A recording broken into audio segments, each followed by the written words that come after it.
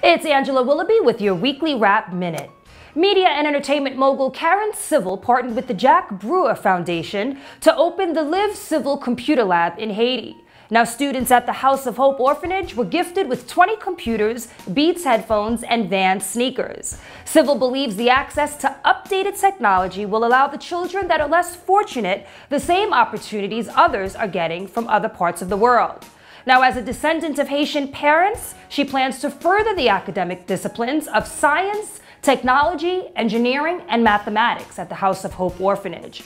Her philanthropic imprints also include women's empowerment and voter participation, as she landed a role alongside Hillary Clinton during her campaign for president. We want to thank Karen Civil for her continuous community outreach and support.